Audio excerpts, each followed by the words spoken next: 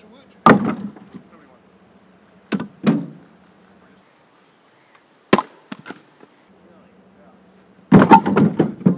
Chop for Life started a little over a decade ago. The idea is we come out, chop the leftover wood from the, the different clearing they do here in the forest, and then we sell it to families in the, the local area and all the proceeds go towards a pro-life organization called the Women's Center. It's a place for women to go who are in trouble and need help, need support with their pregnancies. The Women's Center is there to just um, be a source of hope for them and to let them know that we're here to, to support you and this isn't something that you should respond to out of fear, but out of out of love and, and trust in the Lord. The women who come to the Women's Center are usually in a pretty vulnerable place.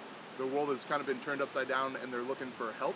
We don't actually ever meet the women that we are helping. We just do what we can to serve them how we can.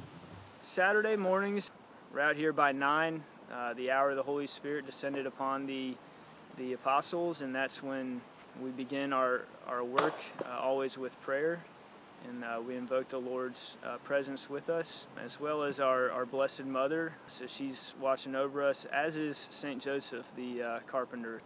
The seminarians have a lot on their plate and a lot of other things to do, and um, sometimes Saturday mornings are the only windows of free time that we, we have here. Some days I will say definitely it's worth it. I'm excited. I'm getting excited to get out there.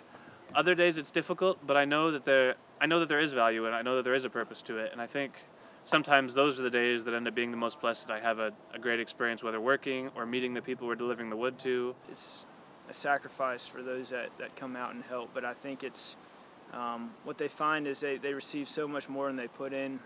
You know, how can you not enjoy uh, and just look at this place? It's, it's good just to be out here. We spend a lot of time in the classroom and the, edu- in the intellectual side, which I mean, I enjoyed that as well. But then the physical side of it's really good. Chicago's only what 40 50 minutes away and yet we're out here on a thousand acres with deer and squirrels and the trees and it's just beautiful to have this moment of peace and to be able to come out here away from everything and just focus on a, on a physical labor there's just something there's almost something holy about that i think while we're chopping while we're stacking we're constantly talking and sharing about our faith lives listening to music and so we're kind of growing in fraternity as well my dad, my grandpa always said one of the biggest ways you can tell something about a man is you see their work ethic. You see how they, you see how they do physical labor, um, and it's cool to kind of get to know some of the guys and, and see that other side of them. It's kind of a good way of using trees that have fallen over and, and died and that would otherwise just sit and kind of rot in the ground. Maybe a message of hope. You know, you might think that the only option is death, uh, but there's still life there and the fire that can come from it and warm somebody's house. We learn a lot about that in philosophy, you know, that the teleology of it, the teleological end, that everything has its purpose throughout its life. Every week, I'm devoting a part of my time to use my gifts to help others in ways that they can't help themselves. And that's something I really do want to continue into my own priesthood. And I, I hope with God's good grace and the support of my brothers to, to keep a good thing going.